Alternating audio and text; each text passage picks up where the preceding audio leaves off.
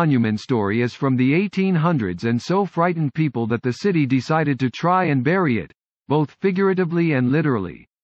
This is the story of Simon McTavish. Simon McTavish was born in Inverness Shire, Scotland and he came to Montreal on the heels of the British conquest, in 1775. He founded the Northwest Company, a rival of the Hudson Bay Company in the fur trade, and with his ruthless business skills, McTavish was soon the richest person in Montreal. He wore the finest clothing and jewelry. McTavish became famous. Some would say arrogant, and he presided over an assembly of prominent Montrealers that he called, the cream of the town. With all of his displays of money and lavishness, he insisted on being known as the Emperor, and Le Marquis. In October 1793, at the age of 43, he married a beautiful 18-year-old French-Canadian girl named Marie Marguerite Chaboilez, the daughter of a trading partner. With his fortune secured, McTavish and his new bride moved to London, England, where he hoped to live out the rest of his days in luxurious bliss.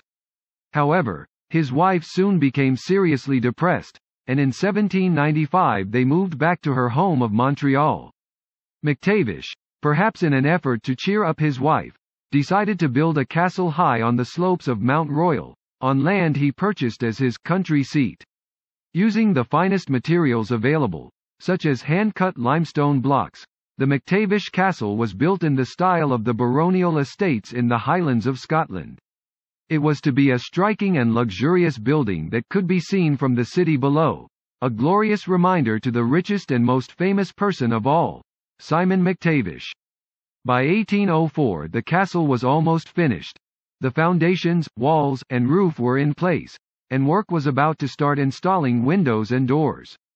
McTavish, who was supervising work from a small cottage a few hundred yards to the west of the castle, stayed out in the rain one afternoon. He caught a cold. His doctor advised him to take some rest, but never one to listen to anybody but himself. McTavish continued overseeing the work in the damp weather. His cold quickly developed into pleurisy and pneumonia, and he died suddenly on July 6, 1804.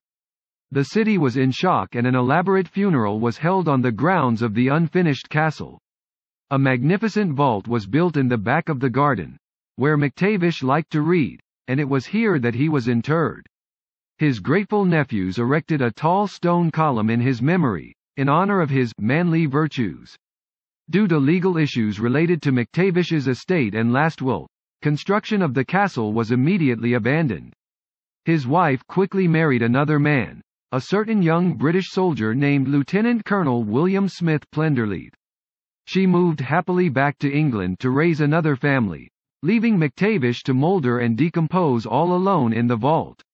Over time, the castle took on a look of dilapidation, as it slowly decayed and crumbled. Cattle wandered inside the ruin during the summer, and in the winter it took on an eerie appearance, as snow drifted through it. It was grey, gloomy, and almost skull-like, its empty windows staring down at the city below. McGill University was founded in 1821 and it is said that McGill students would go to the vault in the winter, wearing snowshoes, and shout and holler to try and raise the ghost of McTavish. In 1827 the students went too far, the locks of the vault were smashed, and the interior of the tomb was violated. An indignant article appeared in the Gazette condemning the vandalism. The locksmith later reported that he felt a frightening presence in the vault and noticed McTavish's coffin had fallen on the floor, spilling its contents. Without venturing inside, he quickly repaired the lock and fled. It didn't take long before the castle was said to be haunted. Some people reported spirits flitting in and out of the doors and windows and horrible groaning noises coming from within the unfinished building, whereas others said that a ghost could be seen dancing on the roof. Even more strangely, it was said that McTavish could be seen on certain nights tobogganing down Mount Royal, not on a sled, but rather in his own coffin. The citizens of Montreal were becoming wary of this haunted castle and many people were afraid to go to the mountain. Groups, such as the Antiquarian Society, tried to reassure the citizens and dispel the fear. The spirits flitting in and out of the windows and doors? Probably nothing more than birds and sheep. The groaning noises coming from within the castle? Merely the wind blowing through the shell of the building. The ghost dancing on the roof?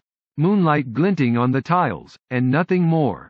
But how does one explain a tobogganing ghost? Believe it or not, there was a very credible explanation. It wasn't only McGee, LL students grave robbing at the time, but also the professors.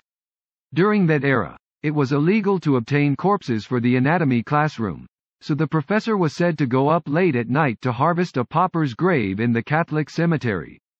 He would put the freshly dug up corpse on his toboggan, and slide it back down the south side of the mountain, to the McGill Medical Building for study and dissection, first thing in the morning. They called him, the Resurrectionist, and suggested that perhaps it was he, and not McTavish, just going about his daily routine. Nevertheless, many people continued to be uneasy with the haunted castle and vault. Finally, with litigation of McTavish's will complete in 1839, it was decided that Crumbling Castle would finally be dismantled, and that the vault would be buried under mounds of rubble to protect it from further abuse. While McTavish's castle was being dismantled, a worker on the high walls fell three stories to the ground and died before surgeons could help him. It was said to be McTavish's final act of vengeance before the vault containing his remains was buried under the rubble of the castle. The city wanted to prevent further grave robbing and literally bury the story that the mountain was haunted, out of sight and out of mind. The tomb is just a few meters under the ground below your feet. All that remained was the stone column erected by his nephews, and even that collapsed in 1942, a victim of neglect and the elements. There was nothing whatsoever left to indicate the remains of the richest, most important man in all of Montreal. After citizens complained, the city decided to install this more modest monument with the same words that were inscribed on the original column that had collapsed. Sacred to the memory of Simon McTavish Esquire WHO died July 6, 1804. Aged 54 years this monument is erected by his nephews William and Duncan McGillivray to commemorate their high sense of his manly virtue and as a grateful tribute for his many acts of kindness to them remarkably. This small stone marker is all that is left of the memory of the man who was once the richest and most famous in all of Montreal, McTavish.